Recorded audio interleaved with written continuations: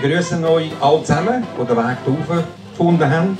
So zahlreich im diesjährigen Geburtstag von der Schweiz. Wie haben Sie von dieser Vier erfahren? Wir haben das Plakat am Bahnhof gesehen und haben uns einfach spontan entschieden zum kommen. Äh, Zürich Oberländer. In der Zeitung, auf das Inserat. Ja, es war Inserat, oder? Und als Mitglied des Quartiervereins weiss man natürlich, wo die Feier ist. Das ist all Jahr und darum weiss man das einfach. Das ist Quartierverein. Gibt es da aber spezielle Vorschriften, um das 1. August für zu empfangen? Also, ich bin nicht sicher, ob man das braucht, aber bis jetzt konnte ich es anzünden, ohne dass jemand gesagt hat, ich darf nicht. Hat es denn schon mal äh, gefährliche Situationen gegeben beim Empfachen von einem 1. August-Feuer?